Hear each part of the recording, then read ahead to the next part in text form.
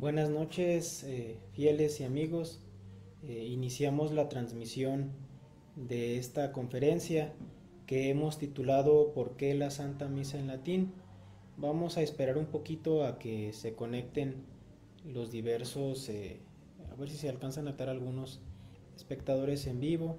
Este, empezamos seis minutos tarde, hubo ahí este, unos problemas técnicos, pero ya nos estamos este, empezando a adaptar a esta cuestión de las redes y demás. A estar solos, normalmente estábamos del otro lado, este, con la cuestión técnica y demás, pero a veces se complica el tener que este, estar eh, de este lado y a la vez preparar la plática y atender más cosas, este, sí, sí se nos está complicando. Eh, pero bueno, vamos a iniciar con la conferencia. Empecemos con una oración. En el nombre del Padre, y del Hijo, y del Espíritu Santo. Amén. Dios te salve María, llena eres de gracia, el Señor es contigo, bendita eres entre todas las mujeres, y bendito es el fruto de tu vientre Jesús. Santa María, Madre de Dios, ruega por nosotros pecadores, ahora y en la hora de nuestra muerte. Amén. Gloria al Padre, y al Hijo, y al Espíritu Santo, como era en un principio, sea ahora y siempre, y por los siglos de los siglos. Amén. Trono de la sabiduría, ruega por nosotros. San Pío X, ruega por nosotros. En el nombre del Padre y del Hijo y del Espíritu Santo. Amén. Eh, bueno, vamos a comenzar con la conferencia. Eh, les recordamos pues también que agradecemos eh, sus comentarios, sobre todo, no tanto comentarios de apoyo, sino más bien sus dudas que pudieran tener, pues las podemos ir resolviendo en futuras conferencias o también ahorita mismo, ¿verdad? Alguna duda que vaya surgiendo, por favor háganosla conocer ahí en los comentarios. Quienes ya estén eh, eh, viendo la, la, plática, agradecemos también la conferencia, agradecemos que la compartan por favor en sus redes sociales para que más personas conozcan esta, esta información tan valiosa. También a las personas que la ven retransmitida por YouTube, agradecemos Agradecemos que se suscriban al canal, tenemos el canal del Santuario del Señor de la Expiración. Agradecemos que se suscriban y que activen las notificaciones para que de esa manera pues eh, nuestra información llegue a más personas, esta información eh, llegue a personas que quizás lo necesitan y de esa manera seamos herramientas de la divina providencia para salvar almas.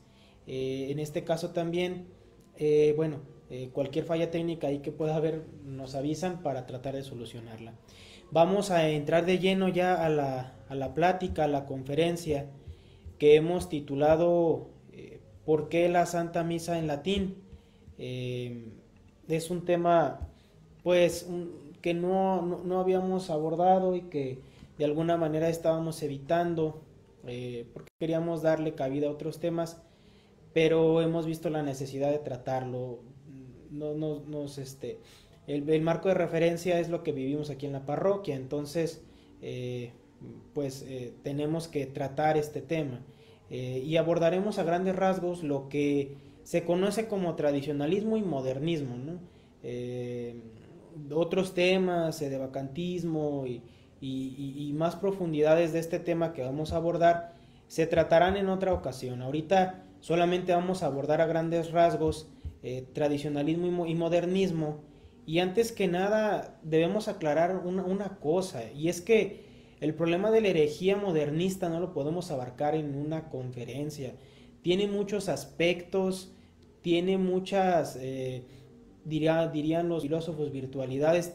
Son tantos temas y tan densos, tan complejos.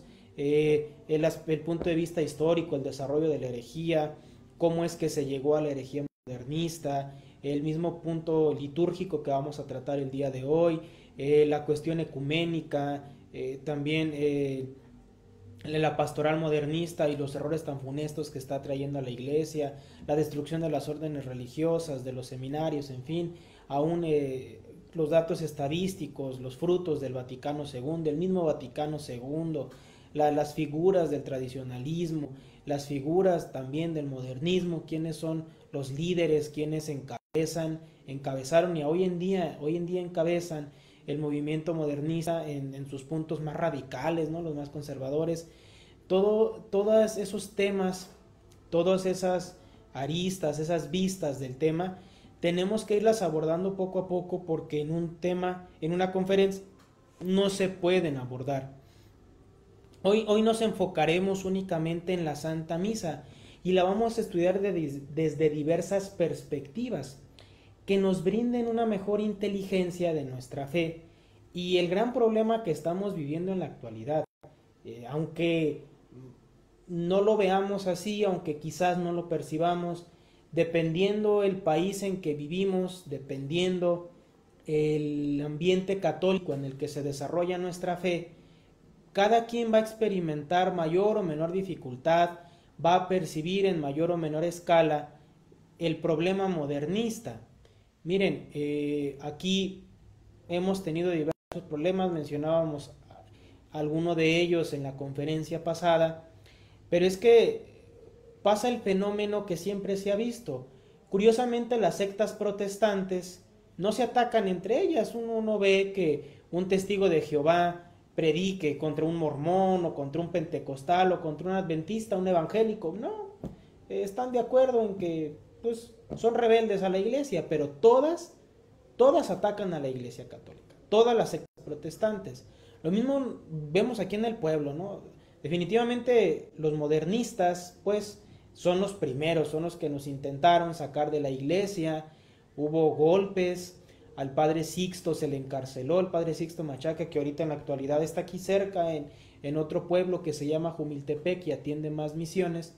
El padre Sixto fue encarcelado, muchos de nuestros fieles también este, nos cuentan, pues las personas ya un tanto mayores, algunas no tanto, que cuando eran jóvenes o niñas, niños, les tocó defender la iglesia eh, y venían dispuestos a todo.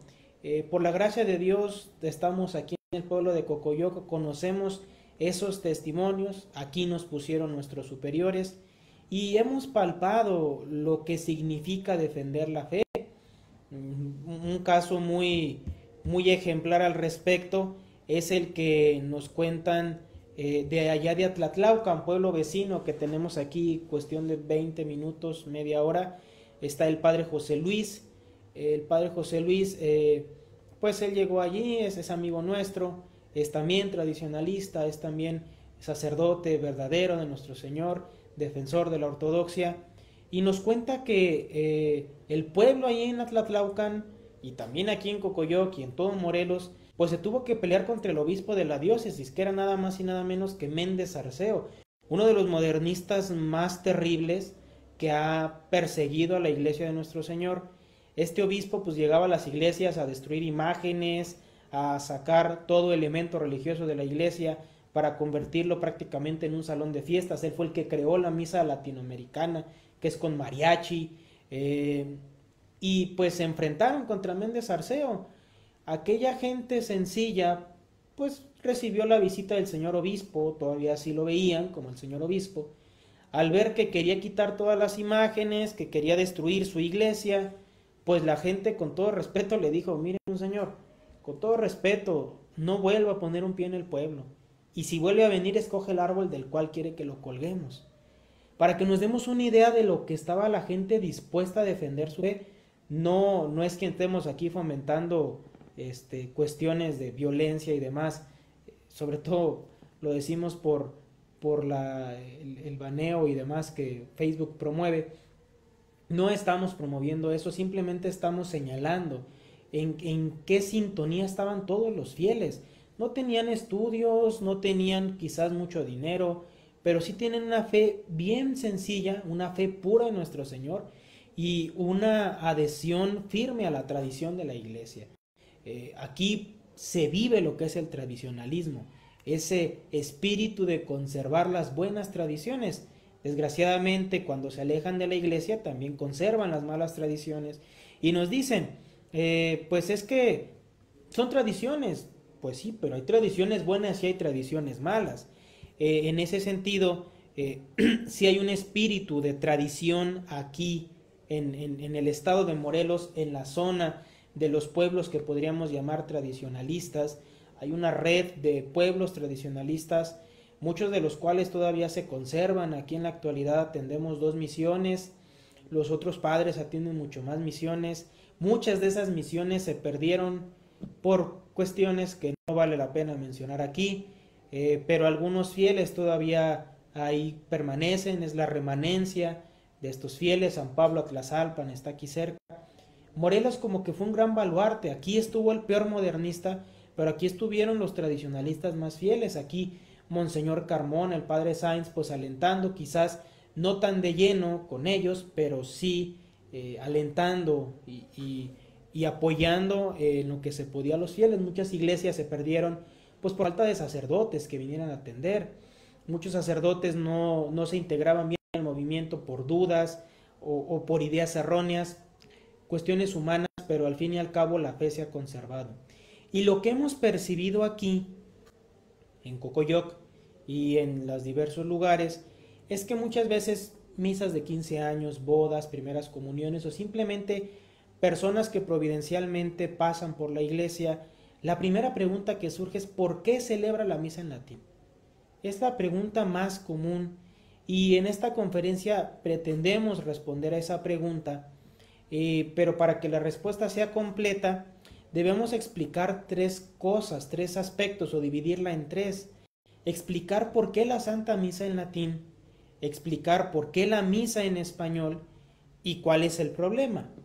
Eh, pues mm, para muchos de nosotros quizás será algo obvio, algo que hemos este, tratado y discutido tantas veces, para otros no tanto.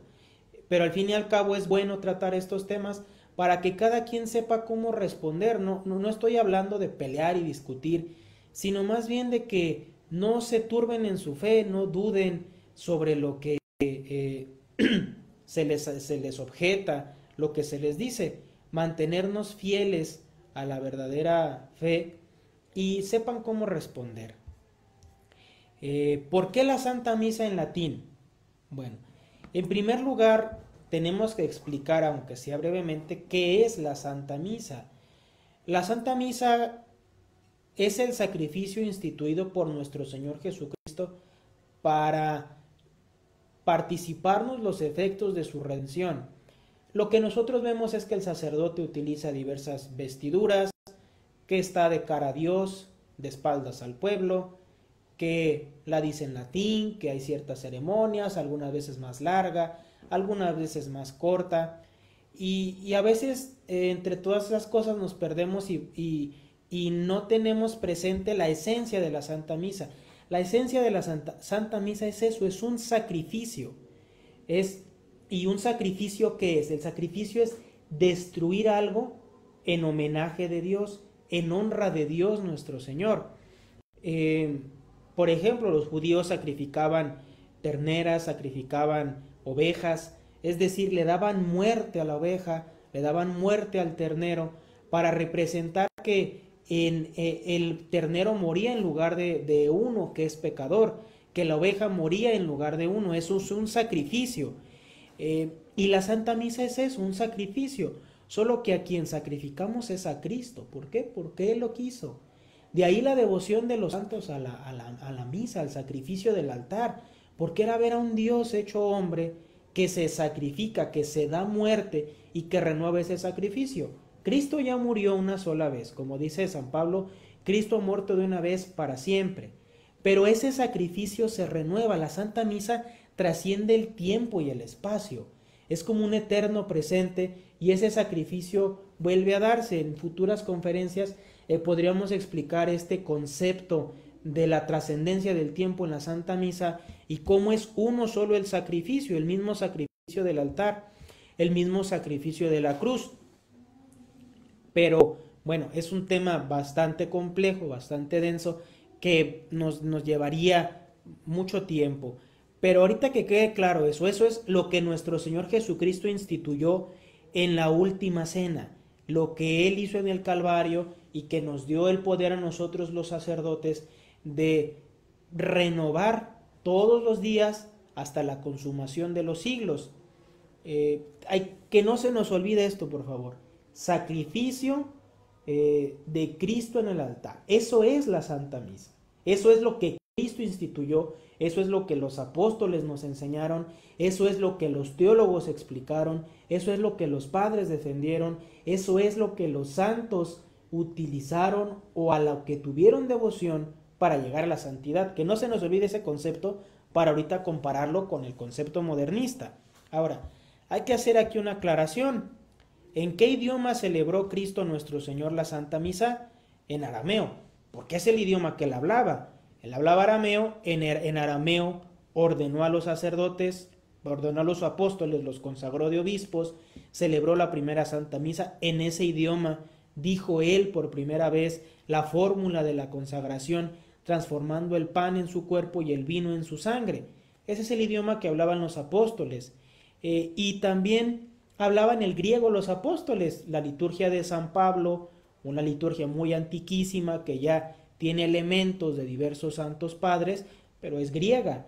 Eh, y así hay diferentes eh, liturgias en diferentes idiomas, que era el que los apóstoles hablaban y que era el que se instituía. Y ahí es donde muchos modernistas dicen, ahí está, es que la misa no la, no la instituyó Cristo en, latín, eh, por eso la misa puede ser en diversos idiomas. Miren, el idioma es lo de menos. Ahorita vamos a ver los elementos más importantes de la herejía modernista. Pero aquí hay un elemento bien sencillo y natural. Y es el hecho de que San Pedro instituyó o puso su sede en Roma. ¿Y en Roma qué idioma se hablaba? El latín. En, por ende, la liturgia romana fue la que más se difundió por todo el mundo. ¿Por qué? Porque es una iglesia romana y en Roma se habla latín. Por esa razón es que poco a poco el latín empezó a, a convertirse en la lengua de la liturgia. Y miren, hay muchas conveniencias de elegir un solo idioma. Pudo ser el griego, pudo ser el copto, pudo ser el armenio, el mismo arameo. Pero los apóstoles, los santos padres, los sumos pontífices, quisieron el latín. La conveniencia de que haya un solo idioma es el hecho de la unión. Yo puedo ir a Francia, Inglaterra, Italia, España, Alemania, y la misa va a ser la misma. Va a ser el mismo sacrificio, van a ser los mismos rituales, esa es la conveniencia de que haya un solo idioma, además de que el latín es una lengua muy elegante, teológicamente es muy práctica, porque con pocas palabras expresa muchas ideas, con una precisión muy perfecta. Y, también en cuanto al rito, pues el rito romano muy sobrio, o sea, la, cultura romana, la cultura del, del, romano permeó, como que llenó este, la, la liturgia y así nuestra liturgia, sobria, elegante, piadosa, eh, una liturgia mm, pues muy serena para que quepan todas las expresiones de todos los pueblos. Eh, pero no solamente estamos hablando del idioma, como ahorita mencionamos, también está el rito, es decir, todas las ceremonias, los gestos, las genuflexiones, las reverencias, la forma de poner las manos, la colocación de la cruz, es una obra de arte la Santa Misa que se ha ido construyendo a lo largo de los siglos, aunque también hay que reconocer que diversos ritos fueron deformando eh, la Santa Misa. Eh, pues en algunos lugares le agregaban más cosas, le quitaban, hacían más largas una parte, sobre todo la liturgia galicana, la liturgia ya francesa, empezó a introducir muchos elementos, eh, ahí hubo cuestiones, muchos factores que influyeron para esto, pero poco a poco la liturgia romana fue perdiendo su original belleza, su original piedad, esa devoción que en un principio tenía, y es entonces, eh, aunado a esto, que viene también la, el protestantismo, que viene eh, la rebelión protestante que, dicho sea de paso, Lutero inició el 31 de octubre. Quizás también por ahí eh, los, los satánicos hayan querido elegir su fiesta para el 31, aunque ya explicamos que el Halloween no es satánico, sino que se lo robaron ellos. Pero pues ahí a lo mejor hay una cuestión demoníaca, satánica, el padre de los rebeldes, Lutero, protestante, ¿Y qué empezó a hacer Lutero? Pues empezó a crear también su propio rito, empezó a deformarlo. ¿Qué fue lo primero que hizo? Celebrar la misa en alemán. Hay mucho parecido con el modernismo y el Vaticano II. Eh, es lo primero que hace, empieza a deformar la liturgia, Eh, él no dejó de creer en la Santa Misa, creía que allí estaba Cristo, pero presiones de los mismos eh, rebeldes pues hicieron que él fuera cayendo en los errores protestantes, pues si al fin y al cabo él se le reveló al Papa, que no se le revelaran a él, sería algo totalmente absurdo. En este marco de, de un desorden litúrgico, de un desorden en la Santa Misa eh, y de los, la rebelión protestante en el norte, es que se junte el concilio de Trento para tratar de dar una solución principalmente al problema protestante y a otros problemas teológicos que se venían arrastrando dentro de la iglesia, ciertas dificultades, ciertos abusos que ya se habían introducido en la iglesia, se reúne este concilio en la ciudad de Trento, allá en el norte de Italia, para tratar de dar respuesta a esto. Uno de los puntos que se abordaron pues fue el de la Santa Misa, cómo regresarla a su primitiva belleza, porque como decían ellos, es que ya es imposible ir a celebrar la Santa Misa en diversos lugares porque en un lugar la celebran de una manera, en otro lugar de otra, en este pueblo así, en este país así. Era un desorden ya lo que se había introducido. El concilio de Trento viene a poner orden en toda la iglesia, pero como fueron tantos los temas que se abordaron, especialmente teológicos, el, concilio le dejó un encargo al Papa, es decir, le dijo, bueno, Santo Padre, hemos terminado las discusiones, hemos sacado los diversos decretos, las constituciones, pero a, la prudencia del sumo pontífice queda el codificar la Santa Misa, es decir, devolverla. El, Santo, el, concilio, de Trento, el concilio de Trento solamente em, eh, dio las normas o, como las directrices, pero que al Papa le quede el volver a codificar el misal y el ritual, el breviario y el catecismo.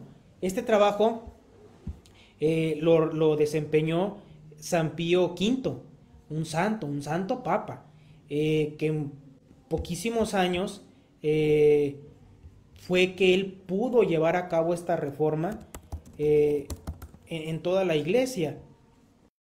Entonces, es, es, impresionante que en tan solo seis años San Pío, de, San Pío V haya podido llevar a la práctica el concilio de Trento, haya codificado la Santa Misa, el breviario, el catecismo, acabado con muchísimos herejes, la batalla de Lepanto y tantísimas cosas que él realizó en seis años. Eso es un papa santo, porque el día de hoy nos quieren vender que cualquier papa es santo. No, para que un papa sea santo tiene que hacer muchísimas cosas. Tan es así que de San Pío V a San Pío X hubo por ahí dos o tres beatos, pero no santos. Pero si comparamos 11 años de pontificado de San Pío X con todo lo que hizo, 6 años de pontificado de San Pío V con una labor ingente, compararla con los papas santos que nos quiere vender el modernismo, no, no hay comparación. No, o sea, no hicieron nada, así literalmente nada en comparación de lo que hicieron los papas santos, sin contar que estos modernistas solamente han destruido la iglesia. Entonces, eh, no, no hay, no hay comparación. ¿Qué hace San Pío X? Junta a los teólogos más preparados de la cristiandad, a los hombres más piadosos, a los, eh, a los hombres más eruditos, más conocedores, historiadores y demás. Los, los, los hace una comisión y por toda Europa empiezan a recopilar misales, rituales, para determinar cuáles son los elementos originales, las oraciones primitivas, se descubre una cosa y es que el canon, es decir, a partir del Sanctus y, hasta el Paternoster, un poquito más adelante, eh, las oraciones son prácticamente idénticas, son casi iguales, es más, se llega a la conclusión de que muchas de ellas o algunas de ellas quizás tal cual las recitó San Pedro.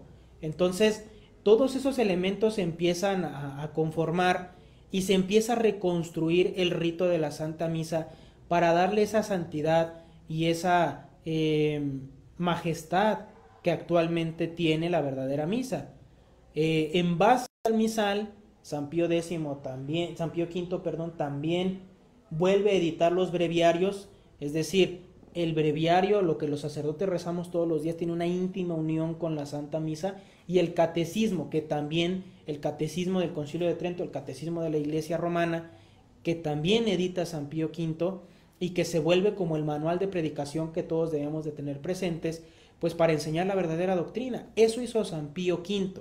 Y desde entonces la Santa Misa se convirtió o dio pie a lo que se llamó lex orandi, lex credendi, es decir, la ley de la oración o lo que se reza en el altar es una expresión de lo que se cree. Es decir, la Santa Misa es como el fruto de nuestra fe. Allí está condensada y resumida toda nuestra fe, todos nuestros dogmas, todos nuestros santos, allí están. Y la Santa Misa se va enriqueciendo sin cambiar y sin, y sin deformarla, sin agregarle nada. La Santa Misa se va enriqueciendo por todos los santos que la han celebrado, por todos los santos que se han santificado con ella, por todos los libros que se han escrito al respecto, por las catedrales, por las iglesias, por la música.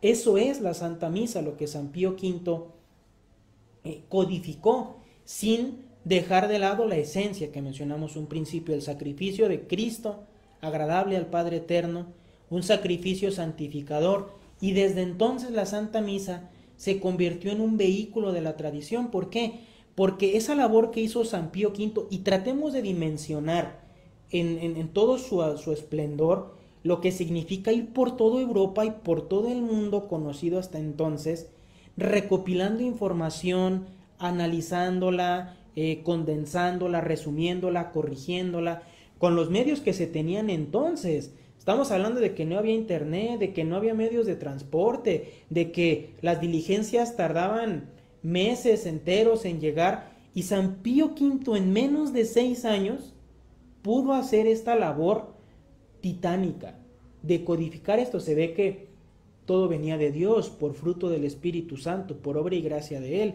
Y se convirtió en un vehículo de la tradición porque eh, se, se, estudió todo lo que escribieron los santos padres, todo lo que los teólogos enseñaron y se condensó en la Santa Misa. Es decir, la Santa Misa es como, como el centro de toda la fe. Ahí está reunida, ahí están resumidos todos los santos padres, todos los teólogos, toda la Sagrada Escritura. Eso es la misa de San Pío V. Ahora, y aquí viene la respuesta del por qué celebramos la misa en latín.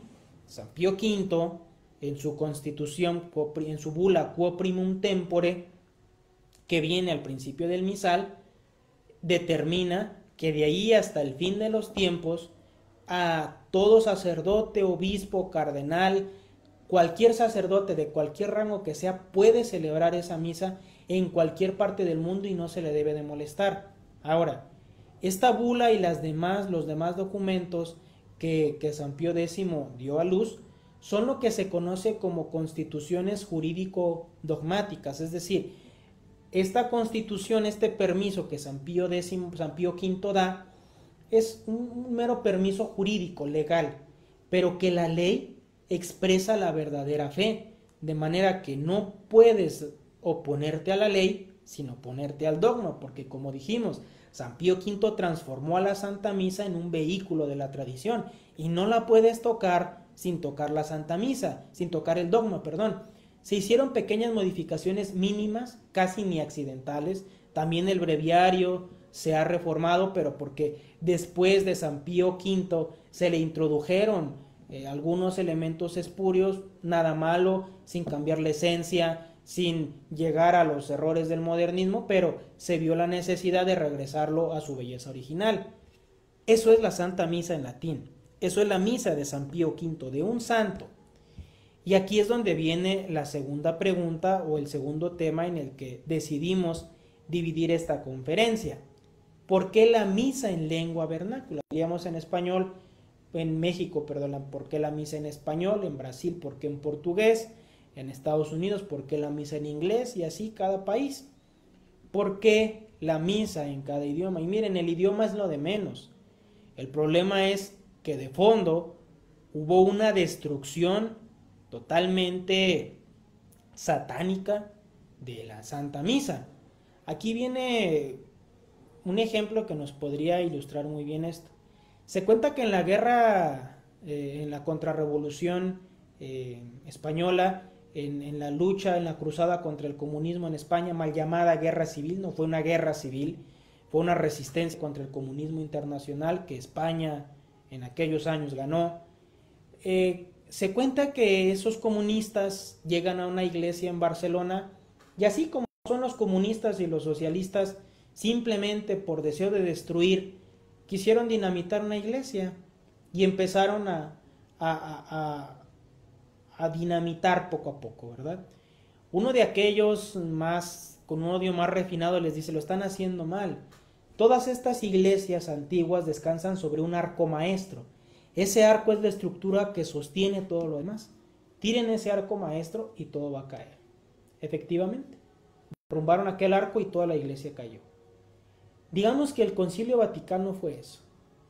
Tirar el arco maestro. Le tiraron a la Santa Misa porque vemos lo que la Santa Misa llegó a hacer por el trabajo de San Pío V bajo la dirección del Espíritu Santo. Viene el Concilio Vaticano II, se convoca el concilio, vale la pena decir aquí que a Pío XII le insistían mucho que celebrara un concilio porque había problemas, porque había que, que resolverlos y, y, Pío XII decía, no, no hay ningún problema, ¿cuál es el problema? ¿Qué, ¿Qué problema dogmático hay en la iglesia? Hay una guerra mundial y lo que sea, pero eclesiásticamente eso no nos toca. Ahora, el modernismo, que era el problema, San Pío X lo acabó con, la, con sus encíclicas, con su labor y demás. El concilio vaticano primero se interrumpió, nunca se clausuró el concilio, se interrumpió por los rumores de guerra. Entonces decía, decía Pío XII, en todo caso, continuamos el concilio vaticano único que ha habido. Pero más bien eran modernistas que querían hacer un nuevo concilio precisamente para hacer lo que hicieron. Pío XII, en vista de lo que querían hacer, no lo, no lo, convocó, no lo quiso hacer porque mucho modernista. Va a ser totalmente contradictorio, pero bueno, eh, por ahí hay rumores, de esto no podemos dar datos concretos, que se había elegido al cardenal Siri al final de a la, muerte de, Pío XII, un cardenal fiel a la tradición, un cardenal conservador, pero que los modernistas lo espantaron y le dijeron que le iban a hacer la vida imposible o que más bien él no era el apto, en fin, le empezaron a llenar la idea de cabeza y al parecer el cardenal Siri renuncia y es cuando eligen a, Roncalli, eh, que se hizo llamar Juan 23, y él es quien dio los primeros golpes, quien convoca el Concilio Vaticano II, este, y, bueno, él fue el que le dio el primer golpe a la Santa Misa, le quitó las oraciones al pie del altar, eh, introdujo al Señor San José en el canon, y fíjense cómo es el demonio, cómo son los enemigos de la fe, no te van a atacar descaradamente, lo hacen bajo apariencia de bien, ¿qué de malo tiene mencionar a San José en el canon? ¿Qué de malo tiene ponerlo en la Santa Misa? Al contrario, es bueno. Sí, el Señor San José no tiene nada de malo, pero cambiar el canon, tocar algo tan sagrado que tenía 500 años sin tocarse y que si se hizo fue porque se había deformado, fue lo que abrió la brecha. Sentó precedente para decir, pues si pudimos introducir algo bueno en la misa, ¿por qué no introducir más cosas? Y de allí se vino el desorden que estamos viviendo el día de hoy, para que veamos cómo tienta el enemigo. El Vaticano II, pues ya lo sabemos, se dedicó a relativizar, a darle cabida a, los herejes, a los enemigos de la fe, y pues el Concilio Vaticano II, eh, pues igual deja al Papa que saque una nueva misa para adaptarse a los nuevos tiempos. Ese es el pretexto que el modernista utiliza, adaptarse a los, medios a los nuevos tiempos. Eh, pero pues ellos entienden por adaptar, transformar la iglesia de Cristo para que al mundo le guste y eso es algo que pues es meramente satánico. Modernismo es satánico. Eh, nada más para que se den una idea, Pablo VI nombra una comisión de seis protestantes, George, Gasper, Sheffert, Kunet, Smith y, eh, Turian, Max Turian. Eh, veamos la diferencia. San Pío V junta a lo mejor que hay en la iglesia y trata de transmitir la tradición y expresar la fe de la mejor manera.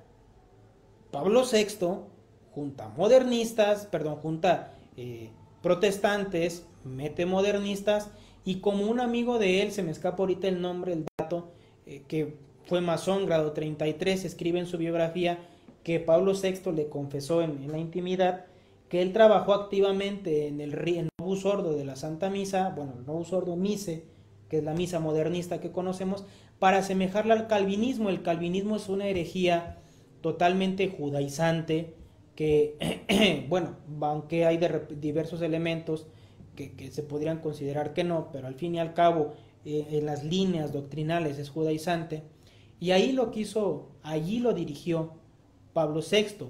es decir, su adaptación más bien era acercarse al protestantismo, pero no es ese acercarse para atraer a la iglesia, no.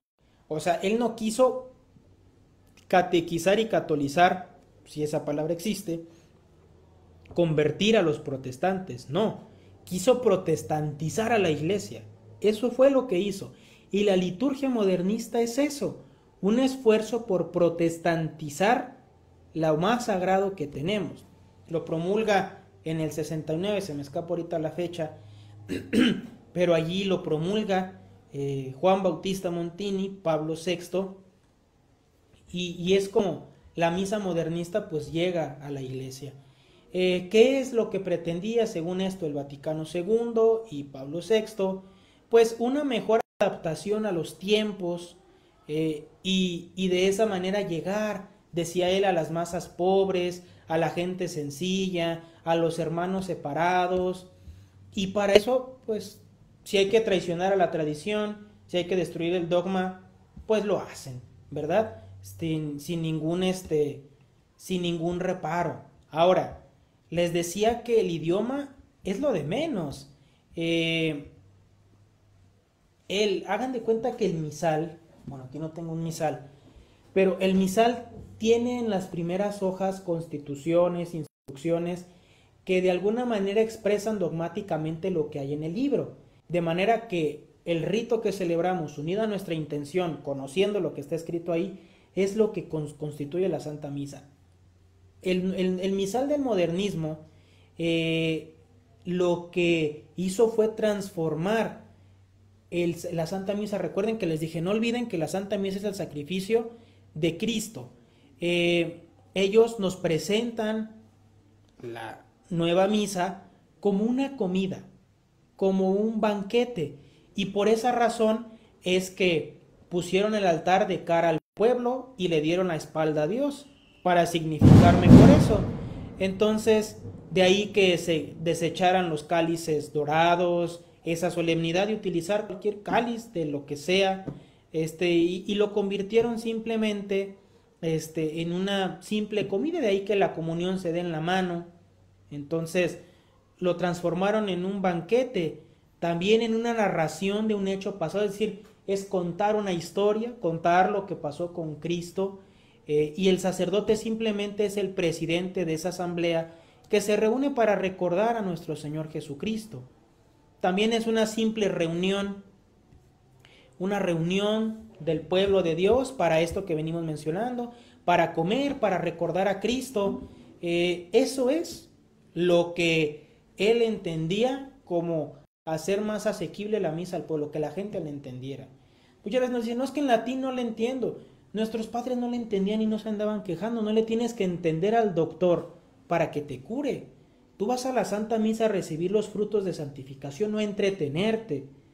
Para eso están los misales, o sea, no hay ningún problema más. La gente que menos se queja es la gente sencilla, la gente que no tiene estudios. Ella va con fe y devoción a la Santa Misa. Más bien se quejan los rebeldes, los quisquillosos, los que son rebeldes por naturaleza. Entonces, eh, Pablo VI transformó eso, el sacrificio incruento de Cristo en la cruz, lo transformó en una cena que recuerda el sacrificio de Cristo y está presidida por el sacerdote que reúne al pueblo. De ahí que se pone la mesa entre el pueblo y el sacerdote, simplemente una reunión, las faltas de respeto, lo que sabemos, misa con mariachi, misa con payasos, ahí en Brasil, un total caos.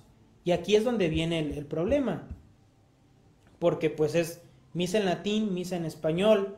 Eh, mm, o sea, ¿qué, pasó? Que en cuanto vienen estos cambios, pues sí, muchos, eh, muchos fieles, muchos sacerdotes, obispos inclusive, pues llevados por la inercia de lo que era la Iglesia Católica, o de lo que es la Iglesia Católica obedecen al Papa, pero inmediatamente empiezan a percibir que el nuevo rito no es la Santa Misa.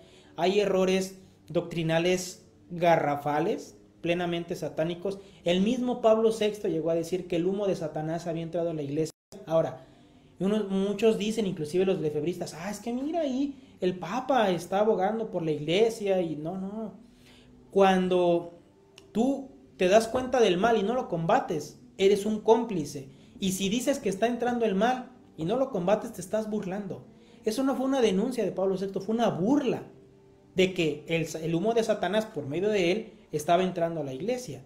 Es en ese momento cuando dos cardenales, el cardenal Otaviani y el cardenal Bachi, le hacen un breve examen al nuevo orden, nuevo sordo, y se lo mandan al Papa, bueno, a, Juan Bautista Montini y Pablo VI. Eh, se lo envían estos cardenales y le dicen que se, se desvía enormemente de la tradición de la verdadera fe. Entendamos quién era el cardenal Otaviani. El cardenal Otaviani era el, prefecto del Santo Oficio, es decir, el Tribunal Superior de la Iglesia que se encargaba de defender la ortodoxia de la fe, un, hombre de hierro, un cardenal íntegro, que no dejaba pasar el modernismo bajo ningún aspecto. Se esperaron a que muriera para que lo pudieran hacer.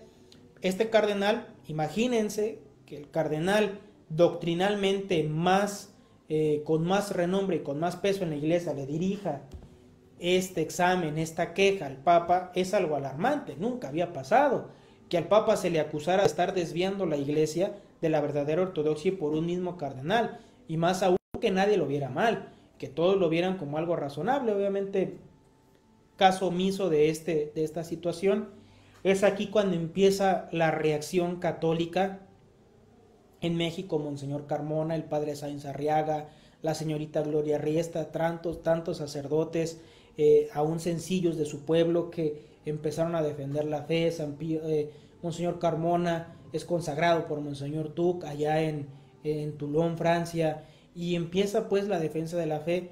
E, e, en este sentido, Monseñor eh, Lefebvre pues fue muy notable por la grandeza de su movimiento, por la resonancia que tuvo este movimiento tan grande, aún el lefebrismo sigue siendo tan fuerte, y que de alguna manera, pues él decía, este, es que Pablo VI cuando formula la, el, nuevo, rito, y, eso es una realidad, no prohibió, no prohibió el, rito de San Pío V, pues, o sea, no dijo, queda prohibida la misa de San Pío V y de hoy en adelante solamente se va a celebrar esta Santa Misa, no.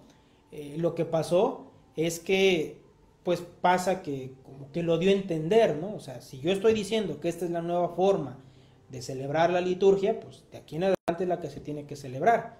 Eh, y pues en la práctica así se dio. Le hablan al Monseñor Lefebvre que vaya a Roma a rendir cuentas y es lo que le dice a, a Pablo VI y sin más ni más lo excomulgan, lo expulsan de la iglesia y demás. Veamos la actitud de los modernistas.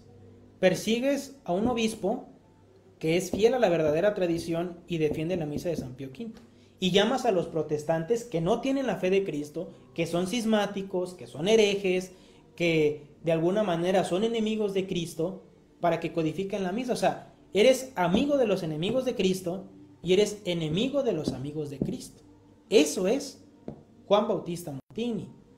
De tan así que por ahí hubo una, una escritora muy famosa, Agatha Christie, no sé si haya quien la conozca, yo en lo, personal no, no, la conocía, es un dato que nos, nos, pasó, nos pasaron los seminaristas de allá del Seminario Mayor, que en esta ocasión nos ayudaron en la investigación, se nos complicó un poquito en la semana preparar la plática, pero pues ellos nos dieron los datos más frescos, los datos más específicos, que no mencionamos aquí para no atiborrar la conferencia, pero nos mencionan que Agatha Christie, una escritora de novelas famosa, parece ser que es una de las que ha vendido más novelas en la historia o de las, eh, de las autoras más leídas, más, que ha tenido más ganancias, eh, que reclamó y pidió a, a, Roma que les devolvieran la Santa Misa. Es que miren qué pasa. En principios de 1900 hay una ola de conversiones en Inglaterra del anglicanismo, recordemos que ellos eran, eran cismáticos y herejes, se convierten a la Iglesia Católica, abrazan la fe de nuestro Señor, entre ellos está el movimiento de Oxford, capitaneado eh, por el cardenal Newman, y, que tuvo grandes hombres, entre ellos escritores famosos de los que hemos hablado, como, como J.R. Tolkien, él es fruto de esas conversiones, y tantos otros, Chesterton, de, esas conversiones, y tantos más.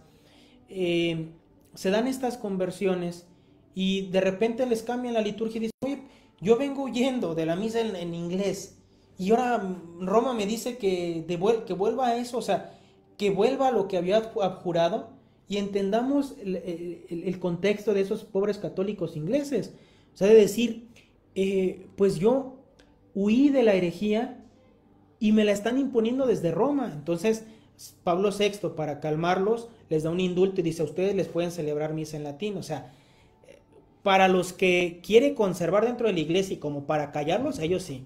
Pero si quieres defender la tradición, a ti no. O sea, para que veamos la labor destructora del Vaticano. Y después se fueron dando diversos indultos. También hay un caso famoso, ahorita se me escapa el nombre, de un, de un judío que se convirtió antes de los cambios y, y dio mucho dinero a los pobres y demás. Al ver en lo que han convertido la iglesia los modernistas, demandó al Vaticano por fraude porque dices que esa no fue la iglesia a la que yo me convertí. Yo me convertí a la verdadera iglesia, no a esta iglesia modernista. Para que nos demos una idea, cosas que no nos van a platicar los modernistas, que no te van a decir en tu parroquia de tu colonia, pero que es una realidad, pero que es cierto. Yo no estoy lanzando acusaciones, estoy enunciando hechos concretos.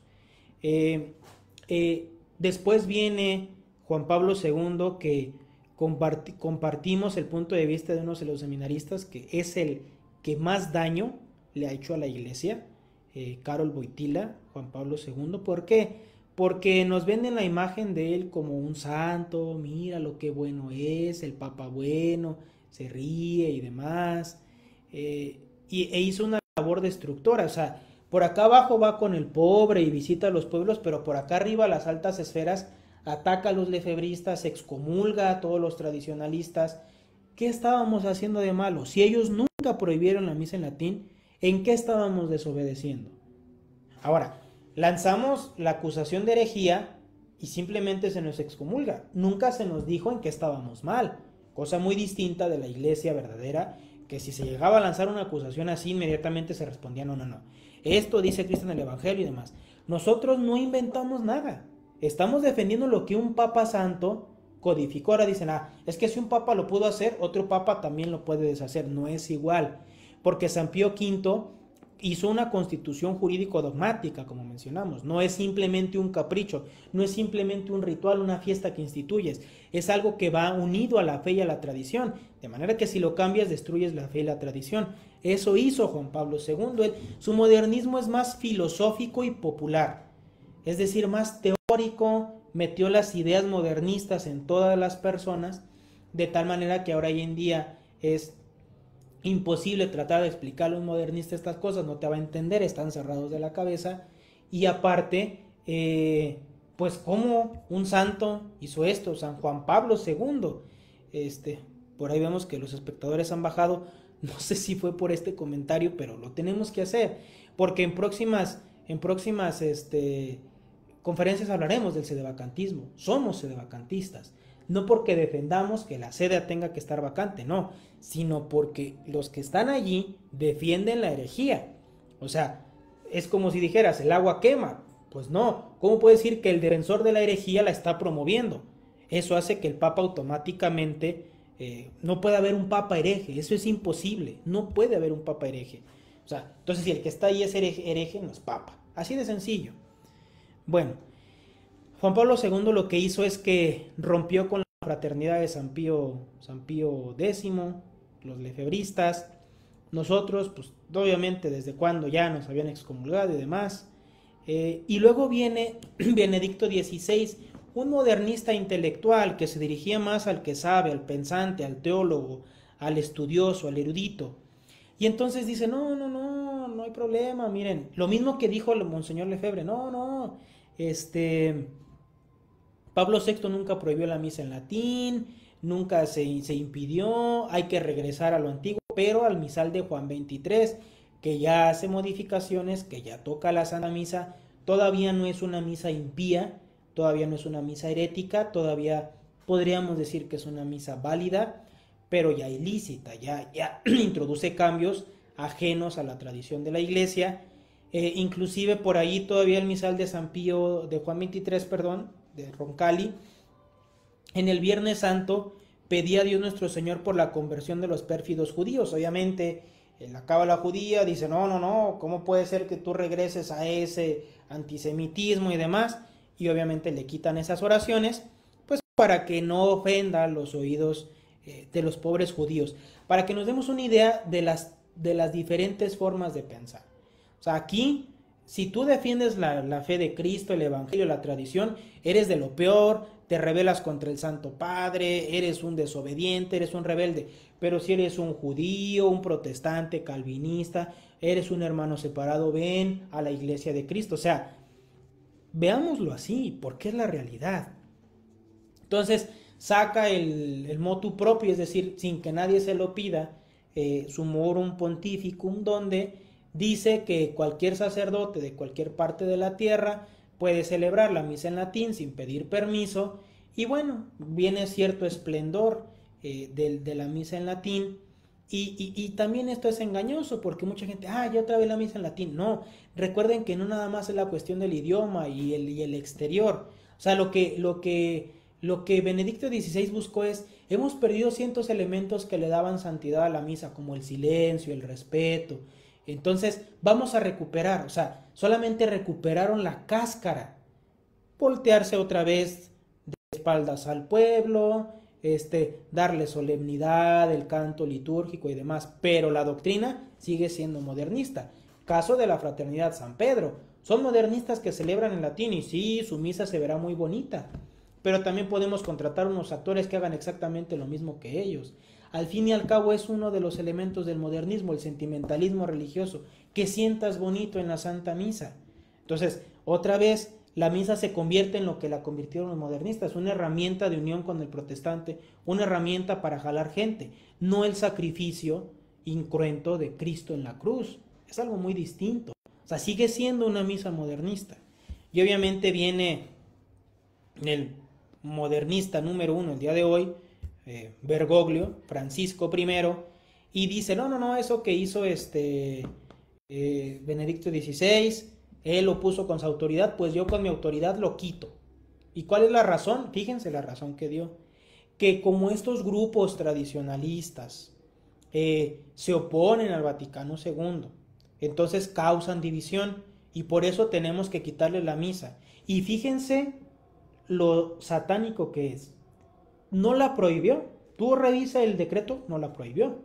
¿Qué fue lo que hizo? Que dijo, de ahora en adelante solamente se puede celebrar una misa en cada diócesis en latín en hora y día específico, es decir, sábado a las 4 de la tarde, lunes a las 3 de la tarde, en fin, solamente una aprobada por el obispo. Ah, y el obispo para poderla aprobar le tiene que pedir permiso personalmente al sinono.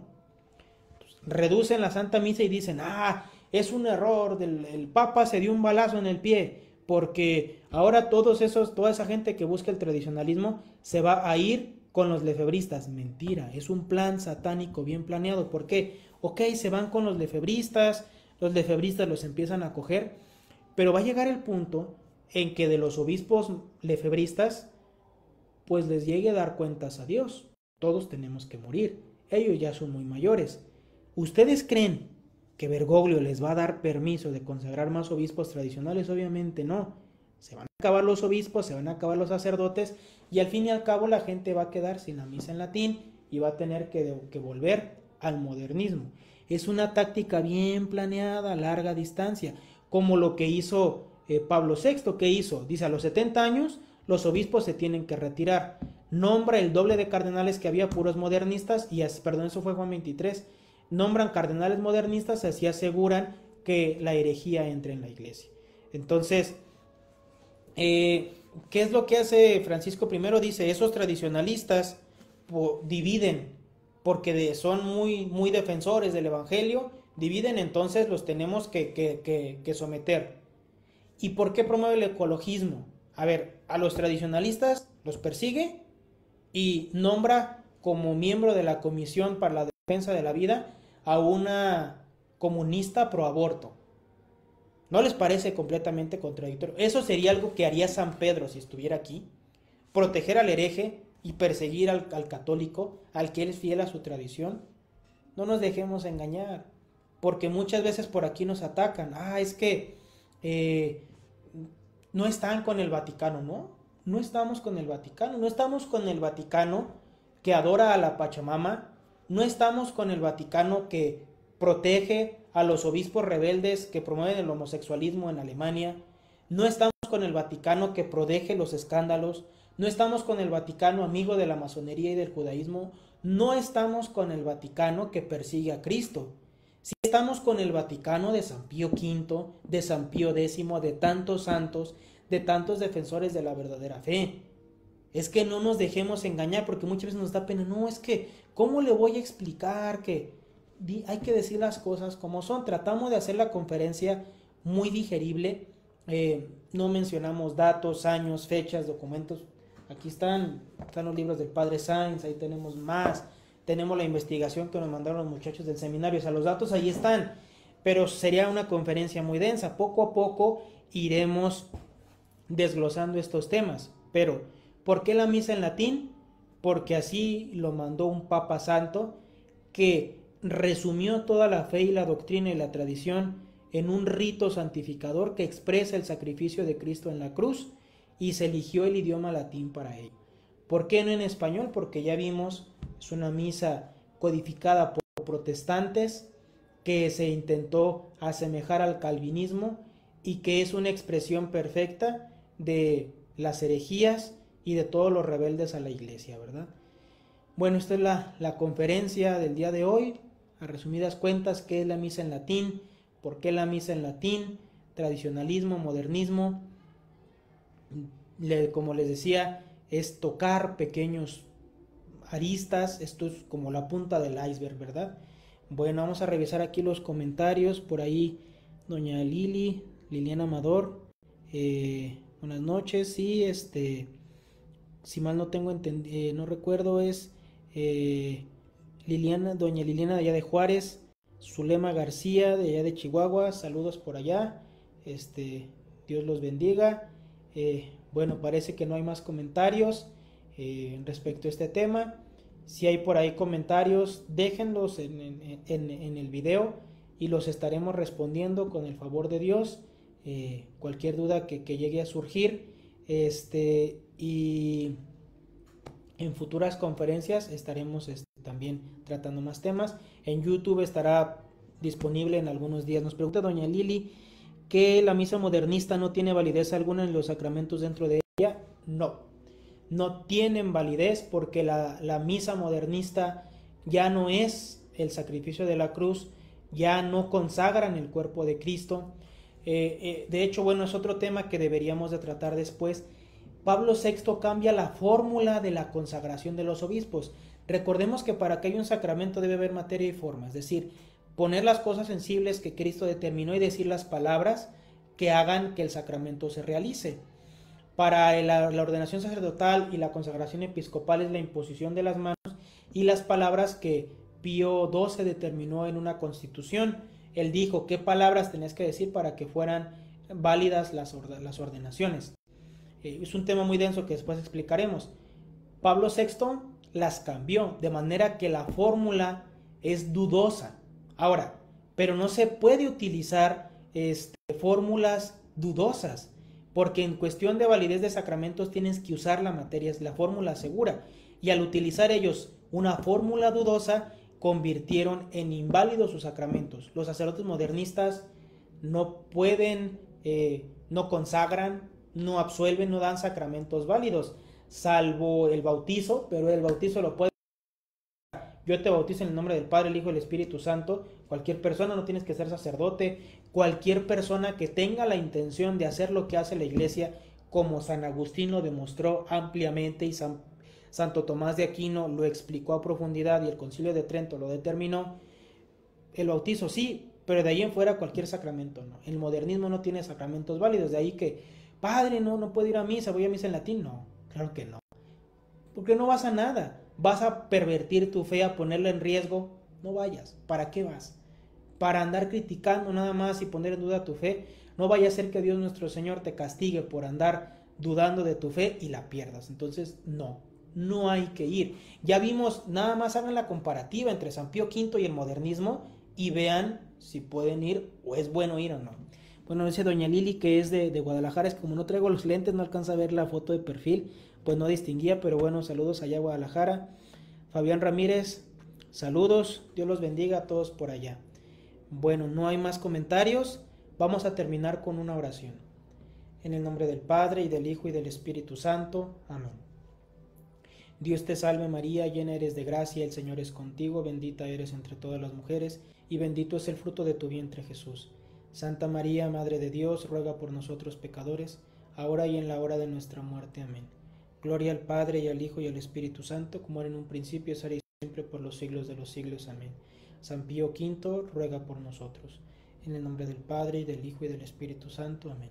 saludos a todos, buenas noches, Dios los bendiga.